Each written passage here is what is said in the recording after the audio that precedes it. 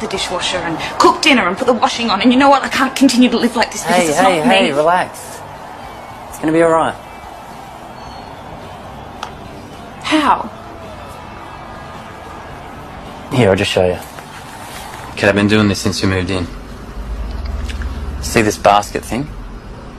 I don't know how it happens, if it's the house or what, but any dirty clothes you put in this basket, somehow the next day They're just clean, folded, and in a perfect pile on your bed.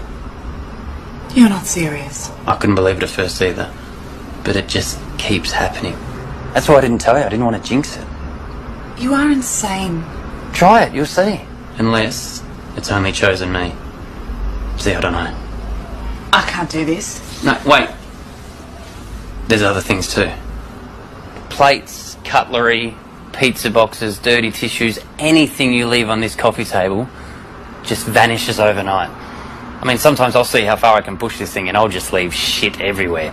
And then sure enough, the next day, it's all gone. It's just vanished. It's magic.